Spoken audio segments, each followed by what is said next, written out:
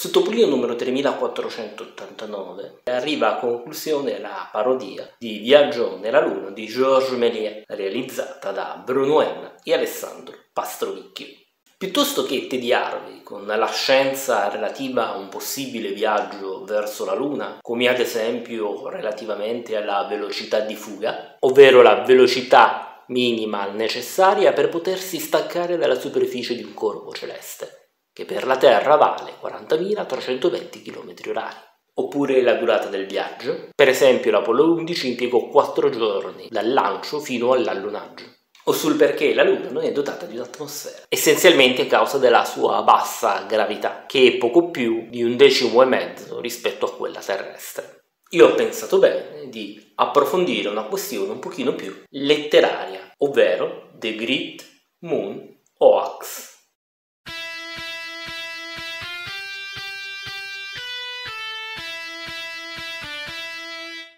La prima proiezione del film di Méliès risale all'1 settembre del 1902, quindi ha compiuto da poco 120 anni. La storia è ispirata ai due romanzi lunari di Jules Verne, Dalla Terra alla Luna e Intorno alla Luna, ma anche dal romanzo di Herbert Wells i primi uomini sulla Luna. Il film è suddiviso in quadri, dove per ogni quadro si intende una scena, girata a telecamera fissa e con lo stesso fondale. La cosa però interessante del film è che i fondali sono in realtà delle piccole opere di ingegneria in qualche modo leonardesche, visto che presentano tutta una serie di carrucole e vari altri ingranaggi che permettono al fondale stesso di muoversi, oppure ad alcuni personaggi persino di volare. Méliès però non utilizzò soltanto questi espedienti tecnici, ma anche tutti gli espedienti possibili e immaginabili che gli potevano consentire le cineprese dell'epoca. Si narra che la cinepresa utilizzata da Méliès per le sue opere venne costruita di suo stesso pugno. Inoltre alcune delle copie del film vennero distribuite colorate a mano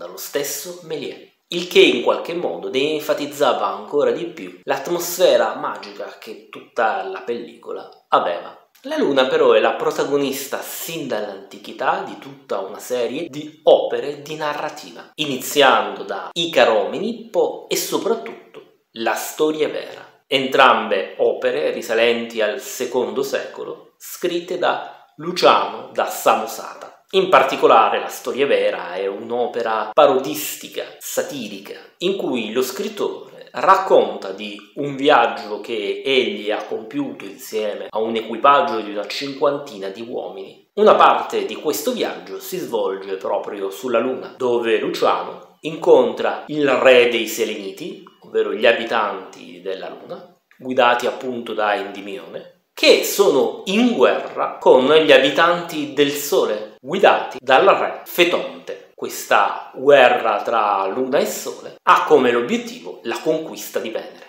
È interessante osservare come il viaggio di Luciano e del suo equipaggio duri all'incirca 8 giorni, ovvero più o meno il doppio del viaggio compiuto dall'Apollo 11 nel 1969. Inoltre il viaggio è fatto a bordo di una nave che viene catturata e trasportata fin sulla Luna da un tifone. Un altro viaggio molto interessante fino alla Luna è quello scritto intorno al 1610 da Johannes Kepler. Somnium, questo è il titolo dell'opera, venne però pubblicata postuma nel 1632. Evidentemente lo scrittore non trovò il coraggio di pubblicare l'opera in vita per evitare le più che probabili ritorsioni su sé e la sua famiglia dalla Santa Inquisizione della Chiesa.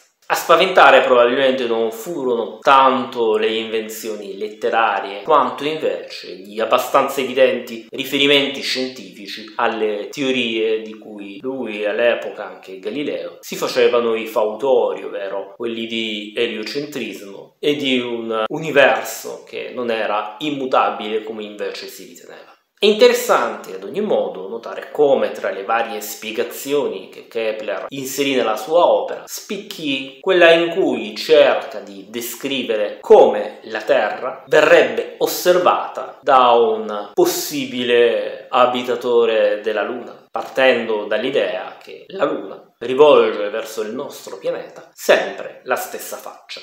A questo punto salto un po' di altri viaggi lunari, trovate in descrizione il link a una lista più o meno completa. E arrivo finalmente proprio a The Great Moon Hoax, pubblicata nel 1835, 30 anni prima della pubblicazione del primo dei due romanzi lunari di Verne. L'opera è costituita da sei articoli, di cui il primo venne pubblicato il 25 agosto sulle pagine del New York Sun. Uscito originariamente come articolo senza firma, raccontava delle scoperte sensazionali di quello che era all'epoca il più noto e più grande astronomo John Herschel, ultimo discendente di una famiglia di astronomi, si attribuiva a Herschel una serie di osservazioni lunari dalle quali si deduceva che in realtà non solo la Luna era abitabile, ma era persino abitata da animali e da una razza intelligente che però viveva a uno stato pressoché primitivo. La cosa venne successivamente smentita, anche se non subito, visto che all'epoca Herschel si trovava al capo di Buona Speranza in